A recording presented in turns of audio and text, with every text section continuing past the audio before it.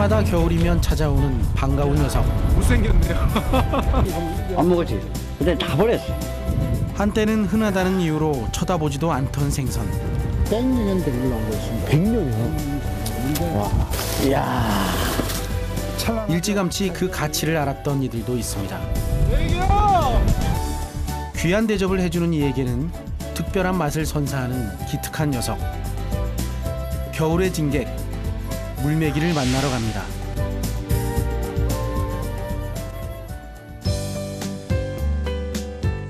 물메기로 유명하다는 경남 남해군에 있는 한 어촌 마을. 이곳은 멸치가 특산품으로 알려져 있지만 겨울이면 물메기가 그 자리를 대신합니다. 아유 안녕하세요. 야 이게 다 이게 다 물맥인가요? 예, 물맥이 말린 거요. 와, 와 그럼 이거 다 어머님 전체가 다 어머님이 다 작업을 하시는 거예요? 예, 예. 야 어머니 그러면 이 수많은 물메기들은 어디서 잡는 거예요? 이따가 잡아오는 배가 있어요. 네. 그 배에 있다가 여기 들어오면 거기서 받아 갖고 와서 저희들이 작업을 해요. 아 그렇구나. 예. 추운데 너무 고생하시네요. 저 안쪽에 좀 들어가서 구경해도 되죠? 11월 말부터 시작한 건조 작업이 지금도 한창이었는데요. 눈비를 피하고 골고루 뒤집어가며 말려야 하는 손이 많이 가는 작업입니다. 날씨가 좋을 때는 해풍에 5일에서 6일 정도 말리면 건조 물메기가 탄생합니다. 그 시간 새벽에 조업 나간 배가 들어온다고 해서 찾아가 봤는데요. 아니 지금 물메기 사러 오신 거예요? 예. 어. 그럼 이 배는 어떻게 언제 도착할 줄 알고 사러 오신 기다리신 거예요? 아, 이 시간 되면은 배가 들어오거든. 아. 잡아온 물메기는 따로 위판장을 거치지 않고 필요한 사람들과 직거래를 합니다.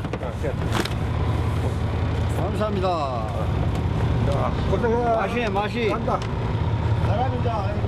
구매한 물메기는 바로 집으로 가져가 신선한 상태로 요리를 해 드신다는데요. 안 먹으세요? 괜찮으세요? 궁금한 마음에 어르신을 따라가 보기로 했습니다. 근데 손님은 어디서 오십니까? 아 저요? 예. 저 서울에서 왔어요. 아, 저를 먼저 드시네요. 네, 어우 되게 멀더라고요 여기. 예, 여기 뭡니다. 끝머리에서 끝에부터입니다. 여기. 아유 어머니 안녕하세요. 가정에서도 먹을 만큼의 양은 직접 손질해 말린다는데요. 이것도 거기 것도 비늘 한 가지 종류거든요. 비늘. 네, 네, 네. 한중에 할 거는 이거를 이제 이렇게 가시 가지고 보통 도시 사람들은 물메기에 비늘이 있을 거라고 생각 못 하거든요. 못하지요. 내장은 네. 내장 젓갈. 아 이걸로 젓갈도 담그는 거예요? 예, 내장 젓갈. 소금을 조금 절여놨다가 한 일주일 정도 놔놨다가 바- 빨아 불고. 나라 삐고. 예, 빨아 빨아가지고 네. 탁 잘랐어. 네. 이렇게 해가지고서 젓갈, 내장 아, 젓갈 음. 해 먹어요. 물메기에 대해서만큼은 전문가나 다름없습니다. 겨울 되면 내 맥이 이기는 잡아가 말리고 반찬도 하고 뭐 그런다 아닙니까? 야. 이렇게 해가지고 한 일주일 정도 되면 말이거든요. 네. 그래 이거는 이제 오늘 말리시니까 음. 찜이 안 되고 음. 저쪽에 말린 거 말린 거 가져가서 오늘 찜해가 잡수고로 합시다. 아 그래요. 예, 예. 야 깔끔하게 됐네요 지금 진짜. 물메기는 어촌 마을의 겨울 밥상을 풍성하게 만들어 주는데요. 아, 이거 이렇게 잘라가지고 조사님 지사상에도 올리고 그 반찬도 해먹고 음. 어, 그렇게 합니다. 저걸 어떻게 잘 잘라질까 했는데 되게 잘 잘라지네요. 네. 칼이 잘 드는 건가요? 아니면 어머님이 잘하시는 건가요? 아니면 잘 잘라집니다. 아 그래요? 예. 아 그냥 이렇게 좀 손으로 이렇게 해도 될 만큼 예. 반건조 정도 잘 부셔지고 이 안에도 꾸덕꾸덕 잘 말려 있어요. 이거 보세요. 와. 찜, 찜할 예. 때는 이렇게 말리면 좀 맛있어요. 어우 맛있을 것 같아요. 그럼 양념을 이제 준비해 볼까요? 네. 물메기는 소박한 양념만으로도 특별한 음식이 된다는데요. 생물은 살이 연해 조리법이 다양하지 못하지만 말리고 나면 사정은 달라집니다.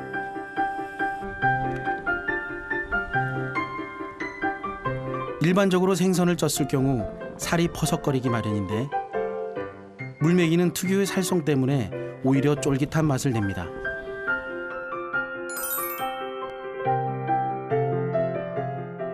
이게는 물메기는요 전할 때는 물기가 많으니까 네. 물기를 뺐거든요. 물기 빼가지고 이렇게 해가지고 네, 물기를 뺄 때는 가는 소금 가는 소금을 싹싹 쳐가지고 아. 네, 간을 간을 다 까지 맞아야 뭐든지 음식이 맛있죠. 그렇죠. 물기를 빼더라도 소금으로 이렇게 해서 간도 배이면서 물기도 빠지는 역할을 해죠 삼초합 때문에 예, 예. 음, 역시 빠뜨리지 않으셨군요. 네, 소금을 쳤습니다. 생물은 큼직하게 썰어 전을 부쳐 즐겨 먹는데요. 보기만 해도 침이 꿀꺽 넘어갈 만큼 먹음직스러웠습니다. 오, 야, 이건 육즙이 뚝뚝뚝뚝 떨어져요. 이거 보세요. 그러니까 그 이름 따라서 물맥이 아닙니까? 그, 그래서 물맥이다. 예, 예. 맛을 보니 예상했던 것보다 훨씬 더 부드러웠는데요. 단백질과 필수 아미노산이 풍부해 성장기 아이들에게도 좋은 반찬이 됩니다.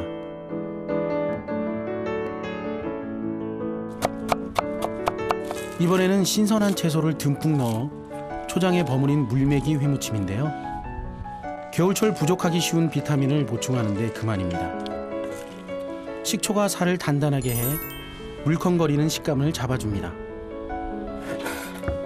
특히 물메기는 버릴 게 하나도 없는 생선인데요. 말릴 때 제거하는 내장은 소금에 절인 후 갖은 양념을 하면 독특한 맛의 물메기 내장젓이 완성됩니다.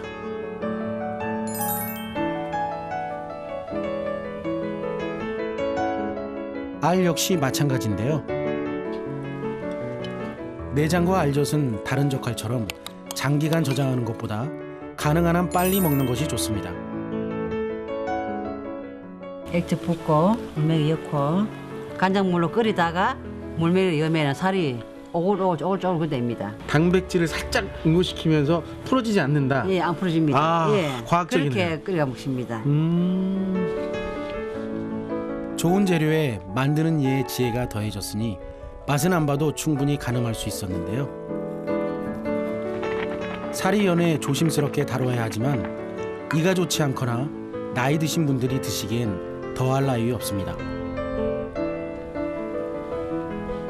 드디어 모든 음식이 완성됐습니다. 감사히 먹겠습니다. 네, 맛있게. 맛을 아니 뭐부터 먹어야 될지 전 겨울철에는 물메기국이 최고지요. 내가 술한 잔도 먹기 때문에. 해장국으로. 해장국으로도 좋고. 그래, 물맥이라는 고기가 1년 내에 있는 게 아니고 네. 딱 겨울 한철밖에 없어요. 우리 동네가 한 배가 한 20가구, 130가구 되는데 이 메기를 갖다가 안딴 집은 하나도 없을 겁니다. 먹기 위해서 이렇게 말리고 하는 건가 아니면 판매도 하려고 아이 자기 먹으려고. 아 본인 먹으려고 네, 자- 판매도 하고 예, 도시에 있는 애들한테도 이제 붙이고 아 자녀분들한테 자녀분들도 그럼 붙여드리면 잘 이렇게 먹나요 잘 좋아해요 먹어요. 아이 그래요 애들 같은 거잘 먹어. 아니 엄청 잘 먹나 봐요 아버님 이렇게 조용히 말씀하시다가 갑자기 잘 먹어요 이러는데 잘 먹어, 잘. 예. 전도 좋아하고 다 좋아합니다. 음. 네, 전도 좋아하고 이 전함 잡사 보세요. 전도 맛있어요. 아 저 아까 어머니 만들어 주셨을 때 전 잠깐 하나 먹었잖아요 먹는데 어우 그 육즙이 아주 정말 넘칠 정도로 맛있어요. 정말 어. 그 먹어보는 사람이 잘 먹는다고. 네. 다음 날 물메기 잡이 배를 타기 위해 저도 이른 시간 바다로 나섰습니다. 뭐 기상이 오늘도 뭐 바다 육지는 좋아도 또 바다 나가면은 또 파도가 많이 치거든. 네. 그래서 오늘 조금 힘들 거예요. 겁주시는 거예요 나가 보면 이제 압니다.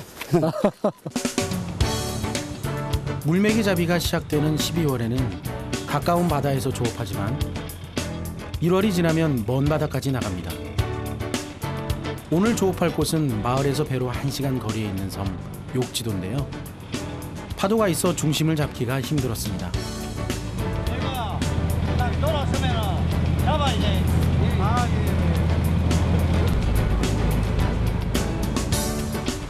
물메기는 산란 시기인 겨울 한철만 잡을 수 있는데요.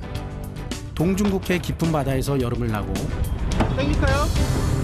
겨울이 오면 수심 50m에서 80m 정도의 연안으로 이동합니다.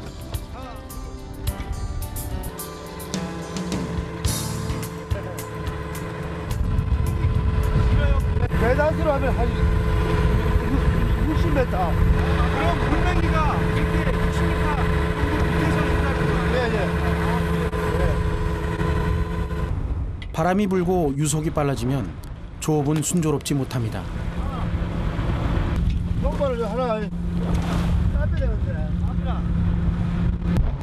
뭐가 좀 잘못된 것 같아요. 바람이 불면 줄이 배 실어 터져본다고. 그거 조심해야 돼. 지금 파도 쳐서 더 그러죠. 어, 물맥이 저쭉 들었네, 물맥이. 어 물맹이 저기 들어있네요 지금 그죠? 자연이 준 선물이지만 자연이 허락해야만 얻을 수 있습니다. 자, 맥이 올라옵니다.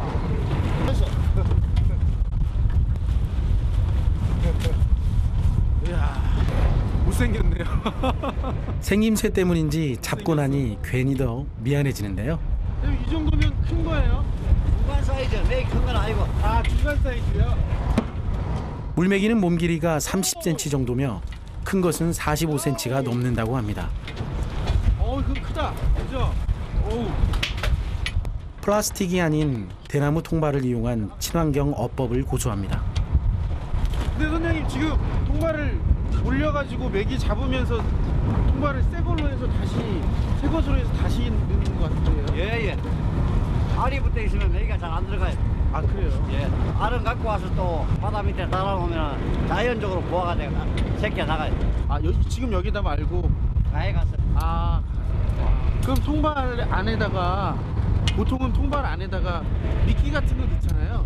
물맥이는 미끼를 안 넣는 이유가 통발 자체가 산란을 하고 아, 암놈 숨놈 들어가고 산란을 하고 붙었어. 아 예.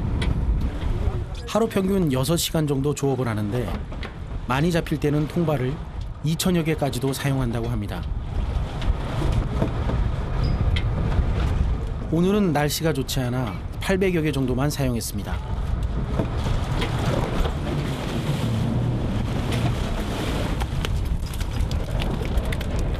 원래 한 사람은 오면은 저 앞에 앉아갖고 맥이가 있으면은 맥이야 고함을 준다고. 아 그래요? 예. 제가 제가 네, 딱 앉아, 딱 앉아 앞을 보면서. 제가 목소리 큰 거 하나는 자신 있어 앞으로 나갔는데요.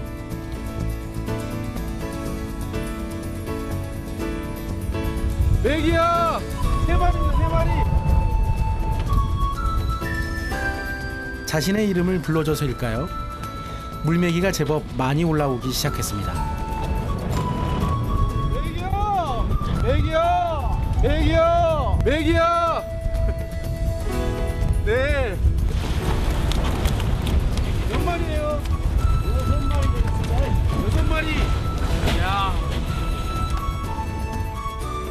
어획량은 물때의 영향을 받는데 유속이 빠를 때는 200에서 300마리, 바닷물의 수위가 낮아지는 조금일 때는 1000마리까지도 잡는다고 합니다. 가격도 다른 생선에 비해 높은 편이라 힘들어도 보람이 있습니다.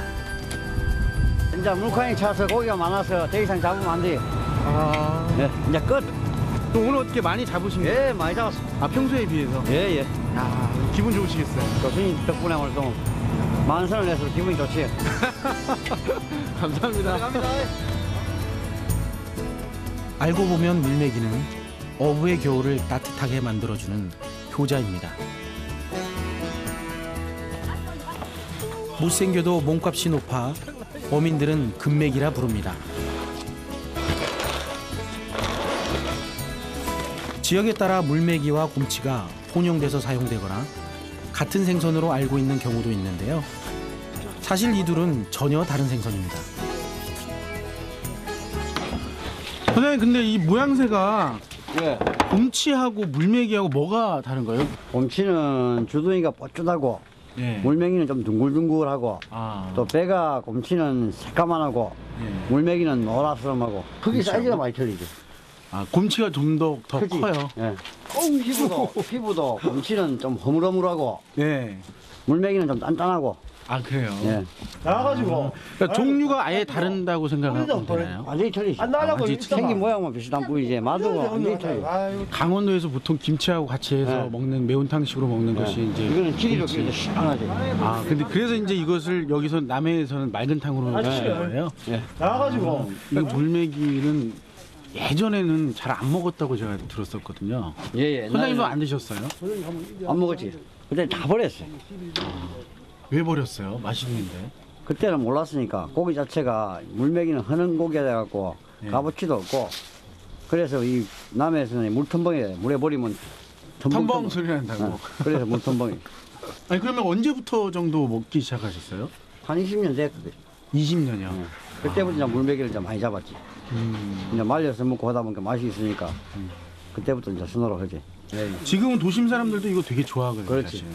그럼 선, 선장님은 겨울에는 거의 물메기 예, 예, 물메기가 주업종이죠? 우리한테는 완전 효자지 효자 아 효자 종목이에요.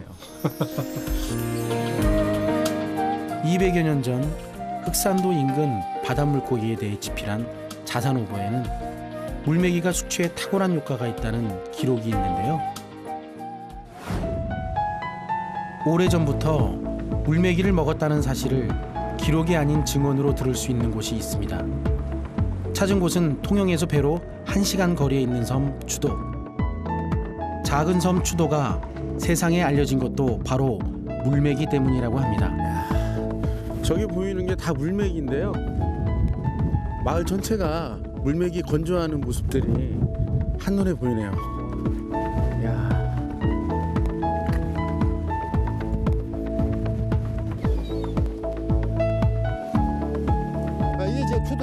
건조명이가 아주 유명한 된 이유를 내가 조금 설명을 해볼게요. 네. 옛날에는 이 기계가 아, 음, 있는 배가 있는 게 아니고 범서 노를 젓거나 또트를 달고 이래 다녔기 때문에 고기를 잡으면 육지로 바로 갈 수가 없는 거라 이게. 근데 부득이 고기는 많이 잡히죠. 다음에 이거를 돈을 만들려면 말릴 수밖에 없어요. 그러다 보니까 이제 한 100년 동안 잡아오면서 말리는 이 방법도 다른 자가 차별화되는 거라. 뭐 계획적으로 뭐 주민이 뭐 연구를 해 그런 게 아니고 자연 하다 보니까 노하우가 생겨가지고 지금 이 단계까지 온 거예요. 야. 주어진 상황을 탓하기보다 지혜를 더하는 현명함을 선택했습니다. 아, 어머니 안녕하세요. 추운 데까지 오셨습니다. 반갑습니다. 아, 날씨가 너무 추워요. 아, 날씨가 오늘 어떻게 추운지. 아, 이 추도는 바람만 안 불면 너무 따뜻하고 천국 간데 이 바람 부느라 오늘 참 고생하시고. 아 그래요? 여기 와 보니까 마을 곳곳에 다 물메기를 건조하는 풍경들이 굉장히 많거든요. 아, 저기도 많이 보이네. 저기도. 야. 바람 많이 부는 거 보니까 물메기 말리는 그 조건이 굉장히 좋을 것 같아요. 이 집 주인이 어젯밤에 잡아놓은 물메기가 저기 있어가지고. 아 그래요 저기. 예, 예. 아유 안녕하세요. 뭐이라 이렇게 많이 퍼가 아이고 할매 애기 그래게 애기들 뭐야 소리 지르 죽겠는데 뭘 펑펑 쓰야지 와, 와, 와, 할매가 부모를 뭘 샀노? 내가 가시는데 물 많이 땄다고 소리 지르 죽겠는데 그걸 물 살짝 갖다 놓고 지시 그 거라 추도 물메기는 건조 과정의 첫 단계인 세척에서부터도 차별화됩니다. 바닷물인가요? 아니면 여기 민물이에요? 지표수, 산에서 내려오는 지표수. 산에서 예, 내려오는 지표수, 지표수로 예, 예. 해서 세척을 한다. 그러니까 아. 이게는 우리는 추도 이 주민들은 천혜의 혜택을 받은 거죠. 꼼꼼한 세척 탓에 표백제를 사용한다는 오해를 받기도 합니다. 근데 지금 솔로 막 문, 문질러시잖아요. 그러면 살이 이렇게 으깨지거나 그렇지 않아요? 안 그렇습니다. 옷을 지금 소진하고 있는 상태 살이 안 떨어지잖아요. 네. 보시면. 그리고 이거를 예. 나 이거 핏대하고 여기만 하지 살 있는 데를 쫙 무드비면 떨어지죠. 아, 살이 떨어지죠. 이렇게 하면 싹 피가 이렇게 올라오잖아요. 네. 그래 여기서 쫙 묻어 있는 건 딱 한번 돌려주고. 그냥 물맥이 건조한다고 하면 이렇게 포를 떠가지고 말리면 된다라고 생각하는데 되게 아니 여러분 세차를 근데 소진하고 씻고 이래진 거 보여주지. 그 러니 뭐 이런 걸 해서 이런 게 아니고. 그럼 여기서 1차 세척 작업 한번 하고 여기서 또 한 번 이렇게 정성스럽게 다 닦아주는군요. 여기서 한번 이제 핏물을 빼고 이거 다시 해가지고 여기서 손질을 해서 다시 또 여기서 이제 한번 헹기고 마지막 단계 또 헹기고 그렇게 해야 보여지거든요. 네 다섯 단계 거쳐야 깨끗하게. 천혜의 자연 조건에 사람의 정성이 더해졌으니 어찌 명품이 탄생하지 않을 수 있겠습니까? 12월부터 3개월간 번 돈으로 1년을 산다 해도 과언이 아니기에 추도 사람들은 그 어느 때보다 겨울에 부지런합니다. 13가구가 덕장을 운영하고 있는데 하루 작업량은 평균 4천 마리 정도입니다. 그날 잡은 물메기는 대부분 그날 바로 작업해 말립니다. 자식처럼 정성을 다해 만들었기 때문에 물메기는 추도 사람들에게 생선 그 이상의 의미입니다. 아버님 되게 가지런히 이렇게 놓으셨네요. 이제 나중에 밟을 겁니다. 아, 딱 파- 판판하게. 예. 여기 해풍에 살 정도 마르면은 이렇게 못나이 같이 이렇게 오글오글하게 아, 약간 오글오글하게. 말라집니다. 예. 그러면 이제 이쁘게 만들려 하면은 이제 요걸 밟아 가지고 꼬랑지를 탁 넣으면은 이제 저런 형태가 되거든요. 음. 저런 형태가 되면은 저것도 한 또한 2, 3일 말리면은 또 오그러집니다. 해풍에 네. 내가 지 맛대로 해라 딱 오그러지면은 예. 또 밟아가지고 예. 또 한 이틀이나 마르면은 네. 이제 명품 맥이 이제 문구는 작업이 들어가죠. 이 쉬운 작업이 아니네요, 아버님. 어 이것도 손이 많이 갑니다. 아, 정말 정성을 많이 쏟아야 되는구나, 이게. 힘들어요. 역시 말린 물메기의 맛이 좋은 데에는 그만한 이유가 있었습니다. 예, 게임하는 것 같아요. 이야, 찬란하죠. 가지런히. 생물보다 정성이 들어가 가격도 그만큼 상승한다고 합니다. 10마리 묶음으로 좋은 것은 18만 원까지도 받는다고 합니다.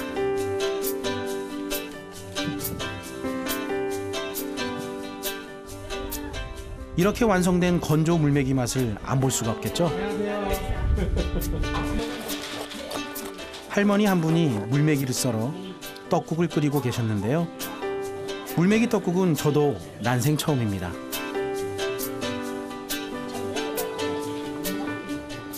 메기 떡국 자셔봤어요? 아니요, 못 먹었어요. 처음입니까? 예, 되게 추도는- 신기하네요. 예, 우리 추도는 이렇게 메기 떡국을 잘해 먹습니다.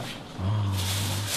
여기는 다른 양념이 필요 없어요. 지 육수가 이렇게 일체 뭐 조미료 같은 이런 것도 필요 없고 파. 파만 이렇게 넣어줘갖고 먹으면 이 우리 음. 추도 사람 왜 즐기느냐 하면 바다에 나가서 점심을 먹을 때 예. 점심 시간에 밥, 밥 먹기도 입이 칼칼하고 이러면 그만 이 일이 끓여가지고 한 그릇을 떠 자시고 아. 그래 이걸 하고 뭐 일이 일이 지내 지내왔어요. 뱃사람들의 허기를 달래준 물메기 떡국이 지금은 추도의 대표적인 향토 음식으로 자리 잡았습니다. 매주 화요일은 마을 주민들이 다 함께 모여 식사를 하며 친목을 도모하는데요.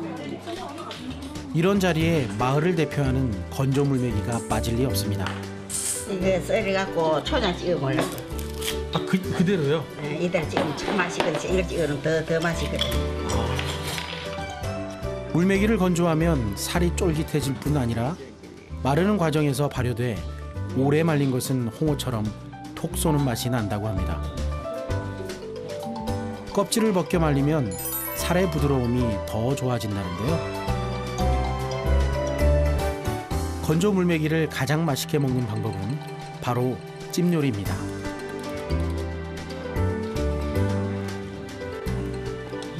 다른 찜처럼 빨갛지는 않네요. 많이 여면 빨간 매보면 되나 매불 맛이 조금 넣지 많이 여도 돼 이게. 양념을 한 상태에서 찌는 게 아니라 미리 쪄놓고 하네요. 응. 왜 이렇게 하는 거예요, 언니? 그렇게 해도 맛이 난다 아닙니까 아, 그렇게 해도 맛이 난다.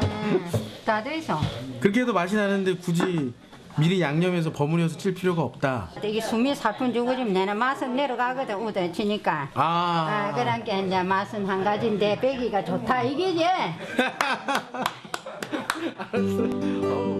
겨울부터 봄까지만 먹을 수 있는 물메기찜. 아무 때나 먹을 수 없어서 더 특별하게 느껴집니다. 된장에다가 이제 넣으면 넣어가지고 네. 구하면 물메기 요리의 최고는 누가 뭐래도 바로 술국입니다. 콩나물을 넣어 끓이면 시원함은 두 배가 되죠. 술 마신 다음 날이면 간절해질 것 같습니다. 물메기를 재료로 푸짐한 밥상이 차려졌는데요. 술국의 시원한 맛은 정말 일품이었습니다. 어디 많이 없어지셨어요? 어디 가셨어요? 어, 예, 지금 바쁜 처리라서 다들 작업하러 가셨어요. 작업하러 가시고 지금 여기 계시는 분들이 이제 좀 조용하신 분들 이렇게 연로하신 분들만 남으시고 아. 다들 젊은이들은 다 일하러 가셨어요. 다 바쁩니다 지금. 바쁜 시간 속에도 이웃에 대한 정을 지키려는 노력.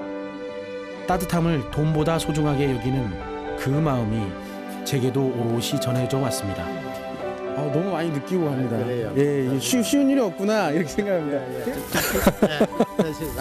사실은 고맙습니다. 예, 네. 감사합니다. 예, 아유 또 뵐게요. 안녕히 가세요. 예, 많이 느끼고 갑니다. 차갑지 않았던 남해의 겨울바람.